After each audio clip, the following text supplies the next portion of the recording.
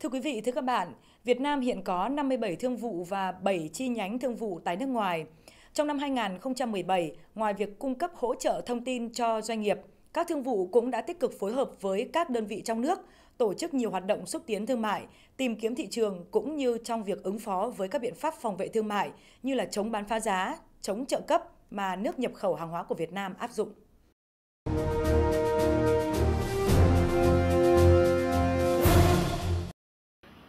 Lãnh đạo Bộ Công Thương cho biết trong lĩnh vực xúc tiến thương mại trong năm 2016-2017, các thương vụ đã phối hợp với các đơn vị liên quan tổ chức hơn 500 hoạt động xúc tiến thương mại theo chương trình xúc tiến thương mại quốc gia, hỗ trợ các doanh nghiệp trong và ngoài nước tìm hiểu thông tin về thị trường, cập nhật các quy định về xuất nhập khẩu, kết nối giao thương, phối hợp với các đơn vị trong và ngoài nước tổ chức nhiều hoạt động xúc tiến thương mại thông qua hội nghị, hội thảo, diễn đàn doanh nghiệp bên lề, các chuyến thăm cấp cao, các kỳ họp Ủy ban Liên Chính phủ. Công tác xúc tiến thương mại của các thương vụ đổi mới theo hướng tập trung vào một số mặt hàng cụ thể mà Việt Nam có thế mạnh. 2016 2017 vừa qua thì chúng tôi đã tổ chức khoảng 20 đoàn xúc tiến thương mại sang sang à, Ấn, Ấn Độ. Thì về cái lợi ích thì à, quý vị biết là hiện tại thì chính phủ Ấn Độ đang rất là cũng cũng giống như Việt Nam tăng cường tìm kiếm thị trường mới à, xuất khẩu. Và chính phủ Ấn Độ đã có những chương trình hỗ trợ tài chính rất là tốt cho các doanh nghiệp. Cụ thể là nếu mà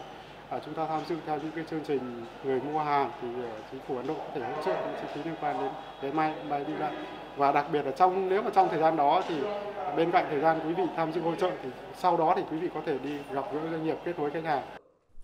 Năm 2018, trong bối cảnh hội nhập với rất nhiều thách thức cùng với yêu cầu ngày càng cao của chính phủ, của doanh nghiệp đã đặt ra cho ngành công thương những nhiệm vụ nặng nề, trong đó xuất khẩu phải tăng tại tất cả các thị trường và tổng kim ngạch tăng khoảng 10% so với năm 2017. Do đó, Bộ Công Thương đề nghị các tham tán đặc biệt lưu ý các nhiệm vụ, mục tiêu như tham tán phải có tư duy kiến tạo, cách làm mới để đáp ứng yêu cầu của doanh nghiệp, tìm hiểu kỹ về các cam kết quốc tế, WTO và 11 FTA để tận dụng các thuận lợi đồng thời có những tư vấn và cảnh báo sớm về thị trường, thông báo cho các doanh nghiệp Việt Nam, sẵn sàng để nhận các yêu cầu từ doanh nghiệp trong việc tìm hiểu các thông tin tại các thị trường sở tại. Chúng tôi triển khai tiếp các cái ngành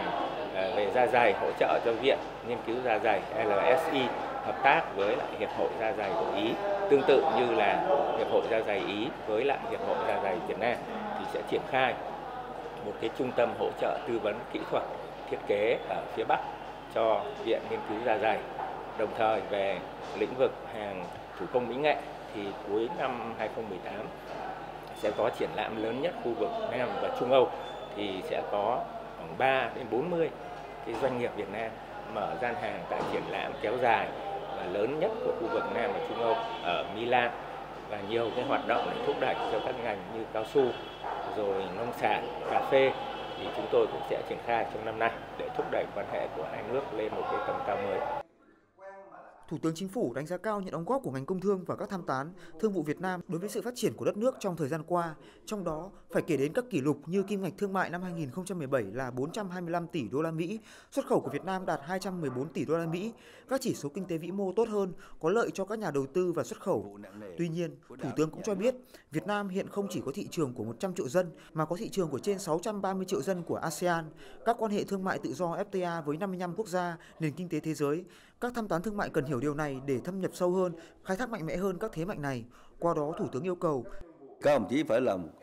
quan hệ tốt các bộ phận khác. Trong sứ quán để có thông tin và phải làm việc với đại sứ.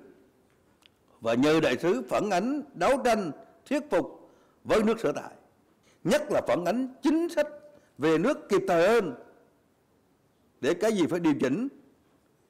Cái lợi đang điều chỉnh đó là cái gì? Các đồng chí cần phải cố gắng nhưng mà chính phủ cũng như các bộ của chính phủ lắng nghe để điều chỉnh tạo điều kiện các đồng chí. Cái gì bất hợp lý của chính sách cán bộ đối với thương vụ chúng tôi cũng phải tiếp thu các đồng chí. Chứ không phải chỉ nói một chiều không. Mặt khác chúng tôi đề nghị công chí cố gắng khắc phục những bất cập này. Dưới sự chỉ đạo quyết liệt của chính phủ, Bộ Công Thương, trọng trách đặt trên vai các thương vụ tham tán thương mại Việt Nam tại nước ngoài năm 2018 rất lớn, đòi hỏi sự nỗ lực phấn đấu không ngừng. Sự nỗ lực ấy sẽ đóng góp vào thành công của ngành công thương, góp phần quan trọng vào xuất khẩu tăng trưởng kinh tế và hội nhập kinh tế quốc tế của Việt Nam.